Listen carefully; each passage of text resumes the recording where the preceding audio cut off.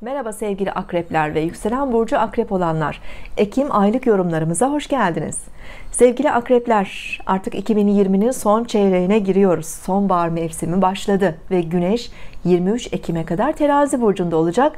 23 Ekim'den itibaren de akrep burcuna geçecek. 23 Ekim sonrası doğan tüm akrep burçlarımızın doğum gününü kutluyorum. Sağlıklı, mutlu, başarılı bir yıl dilerim size. Evet, Ekim çok güçlü bir ay. Çok önemli gezegen hareketleri var ve zor bir ay. 2020'nin belki de en zor aylarından birine giriş yapıyoruz. Ayın hemen başında 2 Ekim'de Koç burcunun 9 derecesinde dolunay meydana gelecek. Dolunayın yönetici gezegeni Mars ve Mars Koç burcunda ve ay boyunca retro. Mars aynı zamanda sizin de yönetici gezegeniniz. Ve sizin 6. evinizde bir dolunay meydana gelecek. Üstelik gezegeniniz retro. Şimdi bu tabi 6. eviniz çok geniş kapsamlı yani günlük hayatınızın detaylarına dikkat çekiyor ve genel sağlığınıza da dikkat çekiyor. O yüzden sağlığınıza dikkat etmeniz gerekiyor. E, bu dolunay bir gündem oluşturabilir genel sağlığınızla ilgili veya hani bazı hayatınızda e, günlük düzeniniz, alışkanlıklarınız, sağlığınızı iyileştirme adına önemli bazı kararlar vermeniz, dönüşümler yapmanız da mümkün görünüyor. İş ve mesleğinizle ilgili konularda bazı gelişmeler olabilir. Mesleki anlamda iş hayatınızda belki çalışma koşullarınızla alakalı da yine güçlü tesirler alabilirsiniz. Şiron'la birleşen bir e, dolunay olduğu için e, o da daha çok bizim hayatımızdaki eksikler, hatalar, yaralar, acılar, biraz sağlıkla ilgili konulara vurgu yapıyor. Kişiselden ziyade aslında tüm toplumu etkileyecek, dünyayı etkileyecek, özellikle pandeminin ve genel sağlık koşullarının çok gündem oluşturacağı ve onun tesirleriyle belki yüzleşeceğimiz bir dolunay ve bu bizim günlük hayatımızda da bazı önemli etkiler getirebilir tabii ki bazı dönüşümler getirebilir. Herkes aynı şekilde etkilenmeyecektir sevgili akrepler. Lütfen kişisel doğum haritalarınıza bakınız. Dolunay 9 derece Koç burcunda oluyor öncü burçlar daha fazla etkileniyor. Sizin, sizin de kişisel doğum haritalarınızda Koç, Terazi, Yengeç ve Oğlak burçlarında ve 9 derece yakınlarında gezegenleriniz varsa o zaman bireysel etkileri alabilirsiniz. Evcil hayvanlarınızın da sağlığına dikkat edin. Ee, yanınızda çalışan, hizmet aldığınız kişiler, yardımcılarınız, asistanınız, hani beraber çalıştığınız kişiler, onlarla da ilgili bazı gündemler olabilir tabii ki bu dolunayla beraber.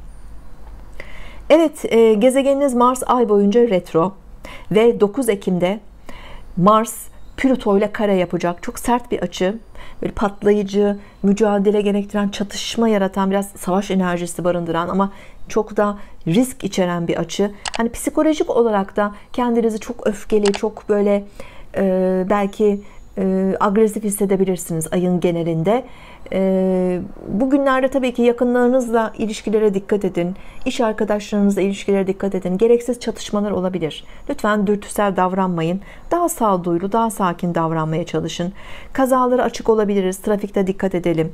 9 Ekim'de ay son dördün fazında olacak. Yani dolunay enerjilerinin de şöyle bir kendini gösterdiği belki şöyle önemli bir e, dönüm noktası da olabilir. E, Mars'la Plüton'un bu açısı doğa olaylarını bile hani bir yerlerde bu yangınların olması, patlamaların olması gibi doğa olaylarını bile çok e, önemli ölçüde tetikleyebilecek bir gezegen geçişi. Ve 14 Ekim'de Merkür burcunuzda geri harekete başlıyor. 14 Ekim'e kadar Akrep burcunda. İleri harekette bu size tabii ki iletişim ve zihinsel aktivitelerde güçlü bir etki verecek ama 14 Ekim'de gerilemeye başlıyor. 28 ee, Ekim'e kadar Akrep Burcu'nda gerileyecek. 28'inden sonra Terazi Burcu'nda gerilemeye devam edecek. Ee, bu sizi zihinsel anlamda çok e, bilinçaltınıza çekebilir. Çok geriye doğru, hani geçmişe doğru çekilebilirsiniz bu Merkür Retrosu'nda. Biraz daha kuşkucu, güvensiz olabilir. İlişkilerde kıskançlıklara eğilimli olabilirsiniz.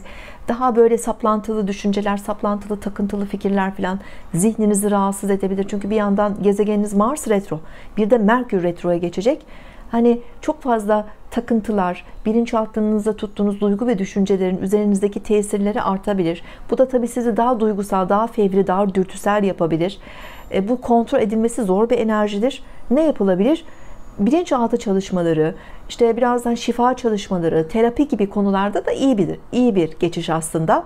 Bir sorununuz varsa geçmişte hep ötelediğiniz, e, bastırdığınız bunları fark edip dönüştürmek adına bu enerjileri açığa çıkarmak adına Merkür Retrosu'nu hayatınızda verimli değerlendirebilirsiniz ama yeni bir imza atmayın, yeni kararlar vermeyin, çok radikal yeni başlangıçlar yapmamaya çalışın özellikle böyle bir geçiş altında.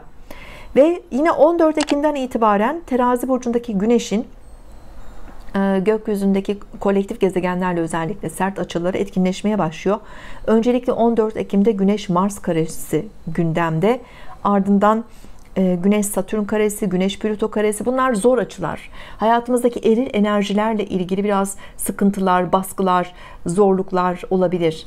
Tabii ki toplumsal anlamda baktığımızda yöneticiler, liderler, ünlü kişilerle de ilgili sert etkiler altındayız. Yani dünya üzerinde böyle bir sert etki var. Önemli insanlar, liderler, yöneticiler zorlanabilir. Ee, Baş ağrıları özellikle Güneş Mars karşıtlığında 14 Ekim ve takibinde kronik baş ağrıları, migren ağrıları, kronik bazı sorunlar, eklem ağrıları, kas ağrıları, hani kendinizi yorgun hissedebilirsiniz, enerjisiz hissedebilirsiniz. İşiniz çok ama sizin bunlarla mücadele etme gücünüz çok zayıflayabilir ya da hep böyle bir engellerle karşılaşabilirsiniz. Buna da lütfen daha sakin yaklaşalım sevgili akrepler. Ve tüm bu enerjilerle birlikte 16 Ekim'de terazi burcunda yeni ay doğacak. 12. evinizde bir yeni ay. Retro gezegenlerimiz var. E, işte güneşin sert açıları var. 12. ev biraz daha hani e, geri planda olan gizli koşullarla alakalı. Bu yeni ay gerek sağlık konularınız olsun gerek iş hayatınız mesleğiniz olsun bazen gizli düşmanlıkları da tetikleyebilir iş hayatınızda özellikle rakipler, gizli düşmanlıklar ya da işbirlikleri alanında e, bazı tehditler oluşturabilir. E, yeni ay önümüzdeki dönem yani 16 Ekim'le beraber ayın sonuna kadar olan süreçte hayatınızda belki bazı farkındalıklar kazanmanızı sağlayacak. E, sorunlarınızı keşfedip hani gizli olan bir şeylerin açığa çıkıp sizin keşfetmenizle beraber bunları çözmeniz adına da faydalar sağlayabilir. Özellikle dedim bilinçaltı ile ilgili çalışmalar yapabilirsiniz. Ruhsal şifa arayışlarınız olabilir. Ya da bir sağlık sorununuzu çözmek için yine e, burada uygulamalar yapabilirsiniz. Biraz daha belki klinikler, bakım evleri, hastaneler ve benzeri yerlerde e, bulunmanız da gerekebilir. E, terazi burcu yeni ayıyla beraber.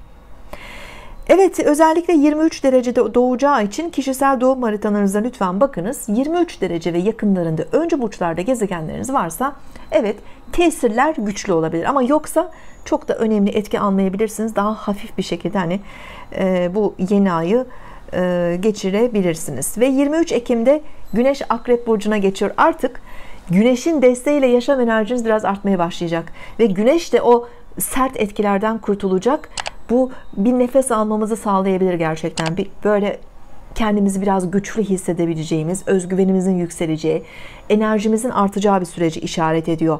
Her ne kadar Mars retrosu devam etse de Güneş burcunuzda olacağı için bu size güçlü bir yaşam enerjisi vermeye başlayacak. 28 Ekim'de de Merkür artık Akrep'ten ayrılıp terazide gerilemeye başlıyor. Merkür'ün de o zihninizi karıştıran etkilerinden biraz daha uzaklaşacaksınız. Venüs terazi burcuna geçecek bir burç değişimi var. Yine 28 Ekim'de Venüs terazide güçleneceği bir e, alana geliyor ve belki bazı psikolojik ve ruhsal takıntılarınızı, problemlerinizi ya da günlük hayatınızdaki genel iş ilişkilerinizle de bağlantılı olabilir sorunları çözmek adına Venüs'ün burada iyicil etkileri devrede olmaya başlayacak. Ve ayın sonunda 31 Ekim'de güçlü bir dolunay var.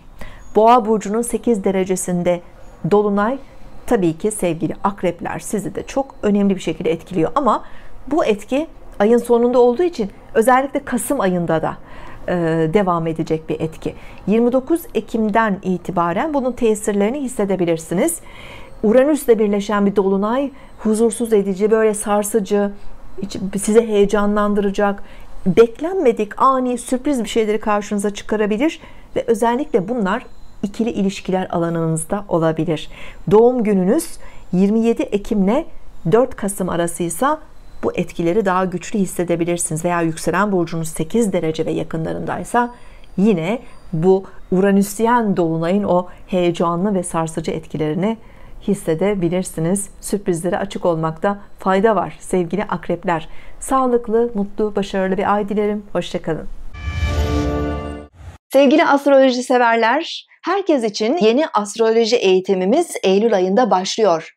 Siz de astroloji ile ilgileniyor, takip ediyor ve rehberliğinden yararlanıyorsanız ve öğrenmek istiyorsanız sizi de eğitimlerimize bekliyoruz. Astrolojiye ilgi duyan, takip eden, rehberliğinden faydalanmak isteyen herkes temel ve orta seviye astroloji eğitimlerimize katılabilir. Temel ve orta seviye eğitimlerimizin ana amacı öncelikle sizin kendi kendinizin astroloğu olabilmenizi sağlamaktır.